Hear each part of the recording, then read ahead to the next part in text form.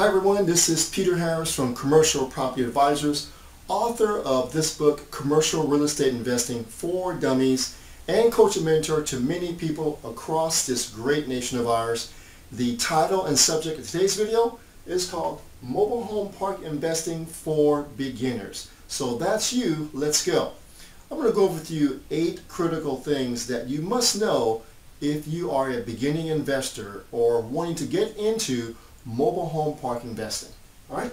Um, number one is I'm going to explain to you what the two types of mobile home park investing or ownership are.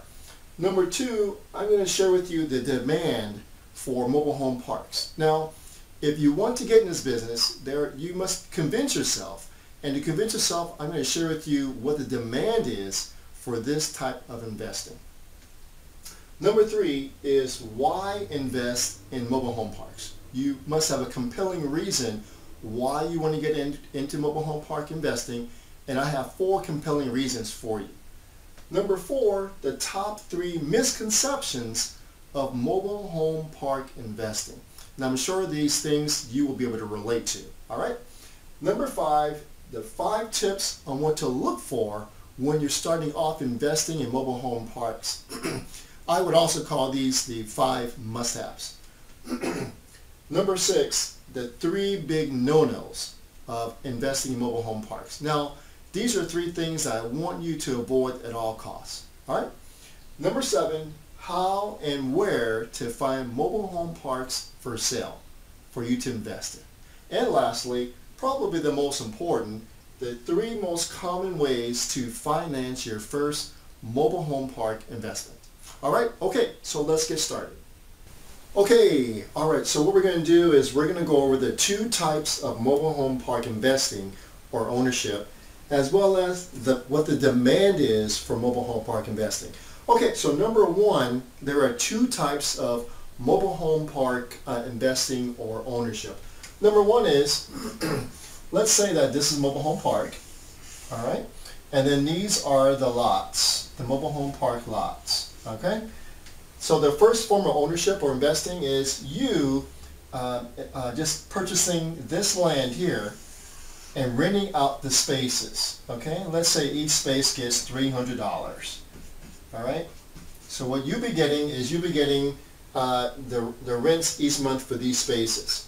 Now, the homes that actually go on this lot are owned by the residents, by the tenants. You do not take care of the, of the homes. You take care of the, of the roadways, the amenities, utilities, things like that. All right? And number, and the second form of ownership would be, again, you have a mobile home park and you have the lots here.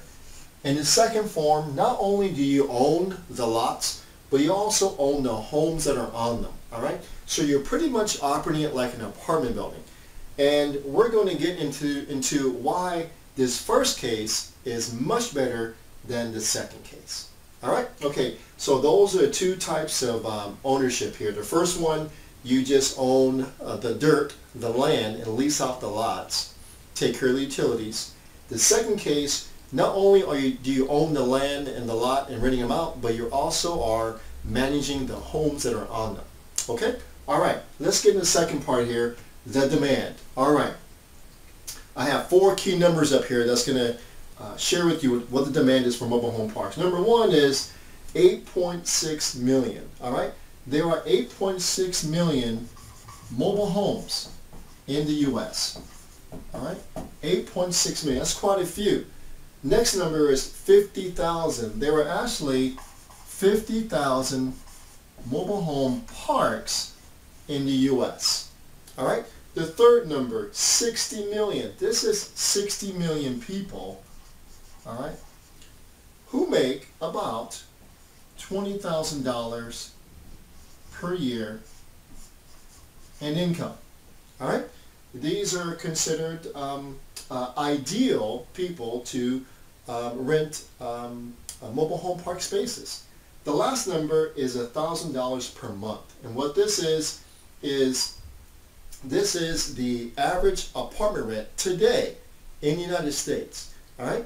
And so this number, um, I'm sorry, this group here cannot afford this number here. So you have 60 million people who need a place to live and they cannot afford the average uh, apartment unit, so they go into uh, the mobile home park category. The last fact I want to tell you that, did you know that 8% um, uh, of the U.S. population live in mobile home parks? 8%. That's a huge number. All right?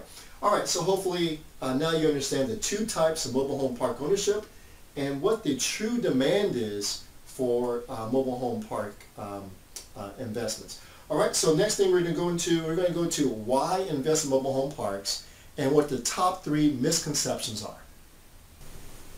All right, why invest in mobile home parks? I have four compelling reasons for you. Number one is there is a growing demand for affordable housing. Uh, in this country, in this economy, whether it's going up, down, or sideways, there will always be a need for affordable housing. In fact, the fastest growing segment of housing in this country is affordable housing. A few minutes ago, I shared with you a fact that there are 60 million people in this country that make about $20,000 per year. Those are, that's your target audience for your mobile home park uh, residents. All right. Number two, stability and predictability. Another compelling reason to invest in mobile home parks is there's a misconception that people think that um, mobile home parks, uh, people tend to move everywhere. And they don't. And the reason why is, is uh, well, here's, let me tell you this. Um, I've seen this uh, years and years and years that um, when a mobile home park, when a mobile home is delivered actually to the lot many, many years ago, majority of them are still there today. All right, a majority of them. That's over 50%. So that tells you that how stable and predictable a mobile home park can be. All right, so it's a very stable, very predictable um, investment because it's really, it's in fact, it costs about $3,000 to move a mobile home from point A to point B. And let's face it, the typical resident doesn't have the type of money. All right, number three, there's limited competition for new parks. Let's face it, if you are a developer and you go to the city's planning department and you have a plot of land in which you want to develop something and you ask them the question, what do you need? Last on their list, will they say mobile home park? They will probably say apartment building, uh, shopping center, office building, industrial center, and the very bottom of the list is mobile home parks. In fact, some cities have injunctions against mobile home park development and because of its um, reputation. All right? So you'll have limited competition of new parks because it probably and most likely cannot be built. Lastly, number four, there's a potential for higher returns. Now, I'm going to compare mobile home park to apartment buildings. Now, the reason why there's a potential for higher returns is because if you buy the mobile home park correctly, again, what you are buying, what you're buying is you're buying the land and you're leasing out the lots. You're taking care of the road, you're taking care of the amenities and utilities, but the homes you're not taking care of. All right. Now, uh, an apartment building, you are you own the, the, the land, the lots, and the building, and the insides, and the outsides, the roofs, uh, everything, the stoves, refrigerators, all those things, um, the kitchens and bathrooms, all those things you own, and you have to take care of. In a mobile home park, in mobile home park investment, you only take care of the dirt. That's all you do. So the cost of ownership, the operating expenses are much lower percentage-wise compared to an apartment building and thereby increasing your, your cash on cash return, your return on investment. All right? Okay, so those are the four compelling reasons why to invest in mobile home parks. Next is, I'm going to go with you the top three misconceptions of mobile home parks. And I'm sure you can relate to these three things. Number one is, there's a misconception that mobile home parks are filled with, uh, I'm going to write this out, crazy, lazy, people. That's a misconception. All right. Did you know that uh, there are mobile home parks in Hollywood, California, and in Malibu, California, right on the beach, inhabited by Sean Penn and movie stars and other uh, wealthy uh, Hollywood types? And they live in mobile home parks, and they have a beautiful mobile home. So they are not crazy and lazy. Some of them may be crazy, but they're not lazy. Just, just kidding. But uh, uh, the average person in a mobile home park has an average job. The average person in mobile home park has uh, an average income. And the average person in mobile home park has an average family. They're just like you and I. All right, so there. So this is a misconception. The second misconception is uh, people think that mobile home parks can pull pull out at any time. They can just pick up and leave. And as I mentioned before, it's very costly to do that. It's going to cost you uh, about $3,000 with a special truck um, to move out a mobile home park. Uh, if you have an RV park, yes, you can back up your hitch and, and take off. If you have an apartment building, yes, the tenants can just wait until there's dark and they can just move out and they'll skip out and you never see them.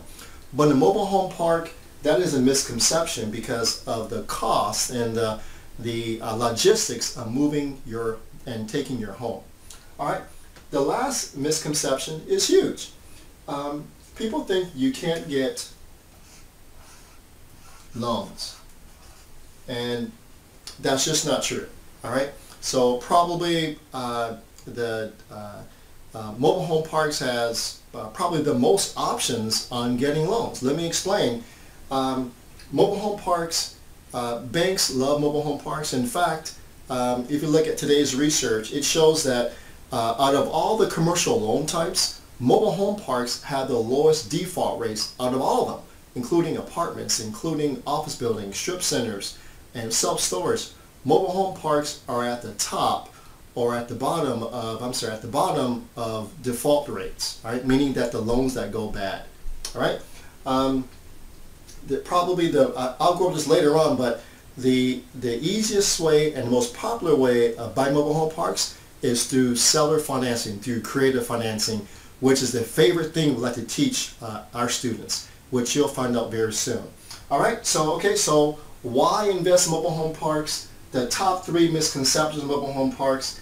Next thing I'll go with you are the five um, uh, quick tips on what to look for in mobile home parks, and then the three big no-nos when investing in mobile home parks. Okay, next is five tips. I'm going to give you five quick tips on what to look for when investing uh, your, on your very first mobile home park.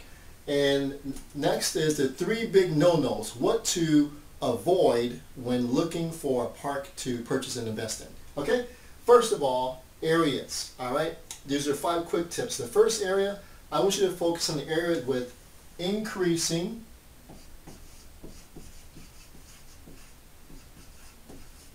increasing population, not decreasing, all right? When an area has a decreasing population, there's most likely a stigma attached to that area and people are leaving and so should you, all right? You want, at the minimum, for the population to be stable, but uh, we, we like to go into areas where the population is uh, increasing. Now, the location is important, and you guys have probably heard me say this many times in previous videos, that you can fix a property, but you can't fix a location. All right? Okay. Next is, I want you to stay away from the the high star mobile home parks. All right? Mobile home parks, what I mean by high star are the A class, top the line, beautiful. The ones that have the clubhouses and the, and the magnificent landscape and the grand entrances, stay away from those, all right, initially because the name of the game in mobile, home, mobile home park investing is uh, affordability, all right? You need to have, you need, your mobile home park should be a clean, cheap place to live because that's when you get the most of the people moving in. That's will be most consistent, all right? You have people with too high incomes, they have options and uh, resources to leave, all right? Okay, so stay away from the high star mobile home parks, the A-class ones. Next is um, seek out the mom and pop parks, okay? So mom and pop parks, all right? Now, what I mean by mom and pop are these small individual owners. The people that are not mom and pop, those are the large institutions.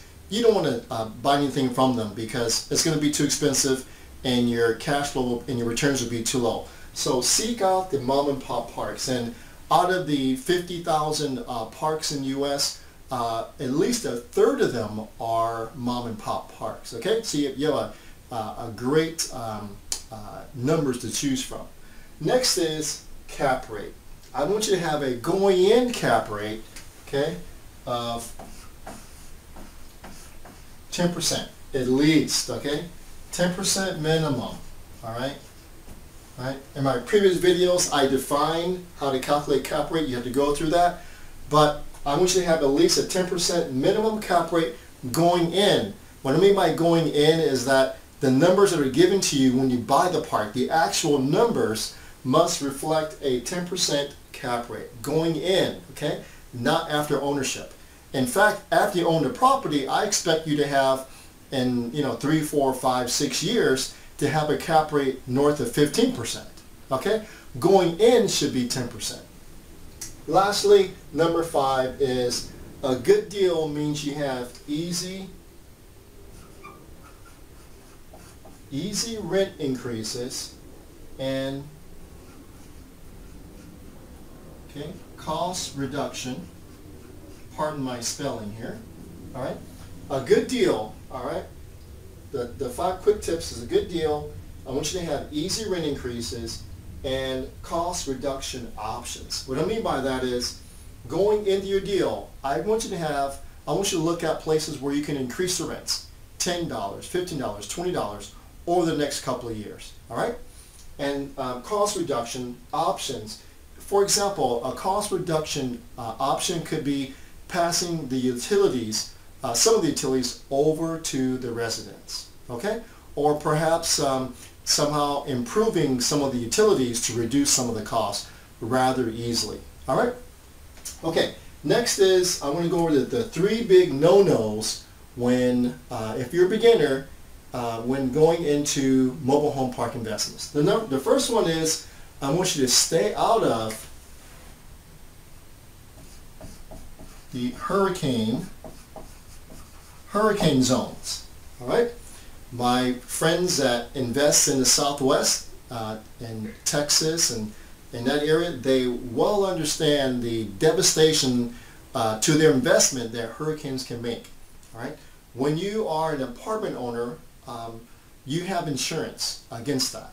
Okay, so when a hurricane comes along, rips off your roofs, cause damage, uh, the, the insurance company will pay for your rent and to fix up the building. So after a while, it's, it's kind of a mess, but after a while, you're okay.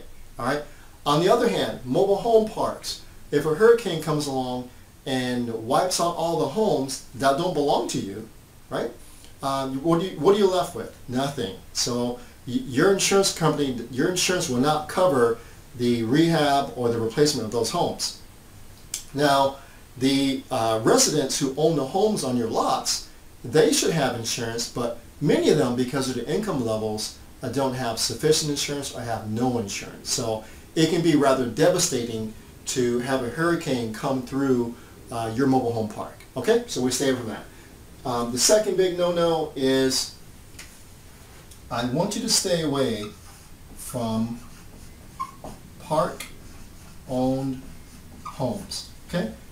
What I mean by park-owned homes are the homes that you as the mobile home park owner, that you also own the homes. Okay? I want you to stay away from that. And the reason why is I want you to stay away from, I want you to stick to the beauty of mobile home park ownership, which is owning just the dirt. Okay? Owning just the roadways and utilities. And then just charging rent for that, just for the lot rent. Okay? I do not want you to get into owning the homes. All right, and the reason why is when you own the homes, a, a mobile home, uh, first of all, it's a depreciating asset rather than an appreciating asset. And secondly, the cost of just repairing them. I mean, the lifetime of a mobile home, it, it can last for a while, but after a while, it's not going to last as long as a, as a regular single-family home. There's going to be repairs, and when they move out, you have to clean it up, you have to replace windows, you have to fix up kitchens, all these things you have to do uh, that you wouldn't have to do if you only own just the dirt.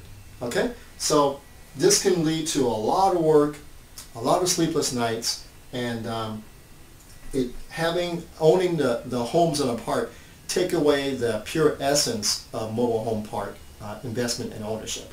Okay, lastly, um, I want you to make sure whatever you invest in that you look into the operating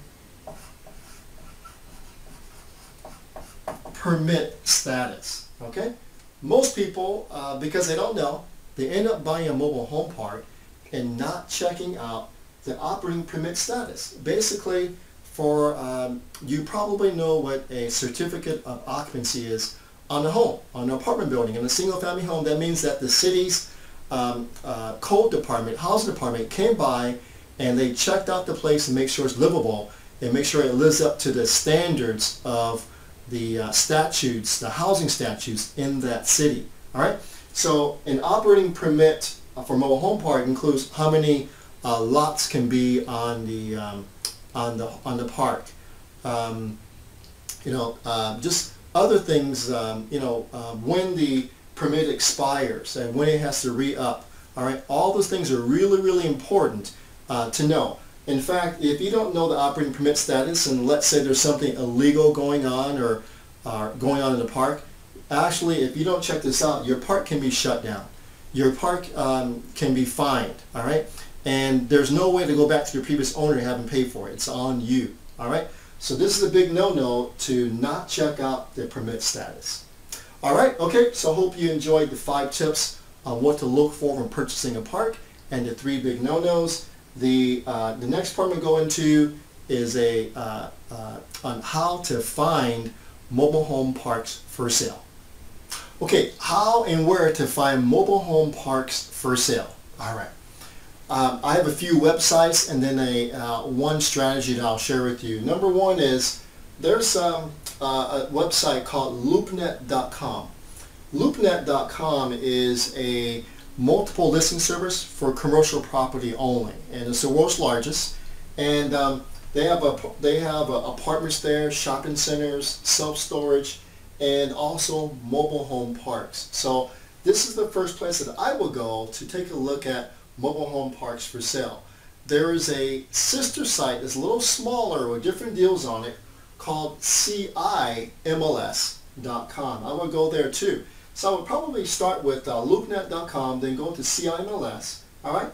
And probably the, uh, the biggest um, site for mobile home parks uh, in general is mobilehomeparkstore.com. Uh, they add, you know, dozens of mobile home parks uh, every, every month, uh, brand new listings. And so I would try these guys out too, mobilehomeparkstore.com. Lastly, and uh, I really enjoy this site, number three, it's called 1031commercialproperties.com and I found some pretty good deals there, uh, mobile home park deals there, so I would check that out too. And uh, lastly is, oh, by the way, before, before I begin, uh, this site is, um, it's free when you first sign on, but to get all the listings, um, it's, it's, it's subscription based. This site is free and so are these um, other sites, okay? All right, number four is the direct mail campaign, right? This is probably my, my favorite way of finding parks and probably the best deals are going to be found this way, direct mail campaign. Basically what you're doing is you're calling a, a, a professional list company and this list company can produce a list for you of mobile home park owners in that city and you will purchase this list. It's probably you know 20 to 50 cents a name.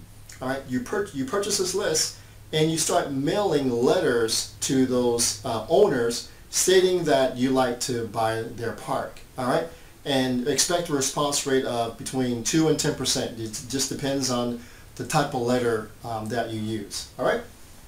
All right, so this is probably my favorite um, way to find parks. Uh, but here's a key word that people always forget to make this, this um, process the most effective. They leave out the word campaign, all right? When a politician is campaigning, you see his commercial more than once, all right? So when you're doing a direct mail campaign, you need to send out the, uh, to, the, to the same owner more than one letter, okay? We like to stagger our letters uh, four to five weeks apart, all right? To make sure that they're getting, our letters are getting in front of them um, you know, every four to five weeks. All right? Okay? All right, let's just face it, uh, you know, myself included, uh, when I get home from work, I am, uh, I look at the mail, I have a, um, a A and B pile. A is critical mail, B pile is junk mail pile. And we want to do our best to keep our direct mail out of the junk mail pile. All right, we do that by constantly putting it in front of the person that's going to open up the mail.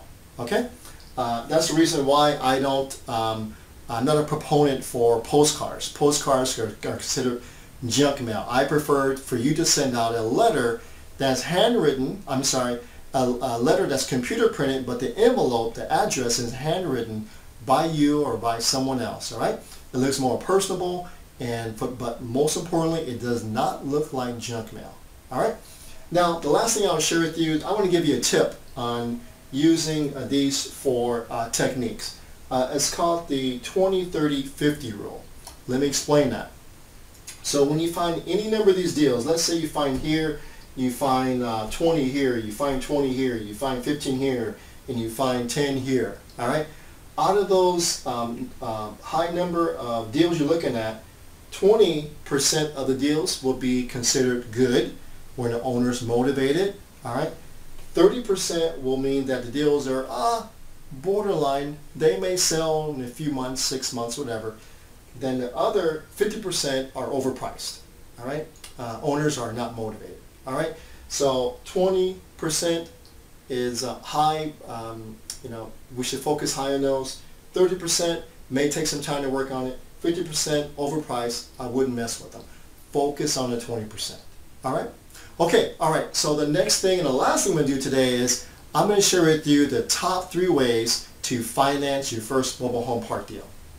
Okay, last but not least, the three most common ways to finance your mobile home uh, park if you're a beginner. All right. Number one is bank financing. Going to a traditional uh, bank, savings and loan, credit unions, um, uh, regional banks, all right? Going to, the, going to those banks, expect to put down between, today, between um, 30 and 40% as a down payment, all right?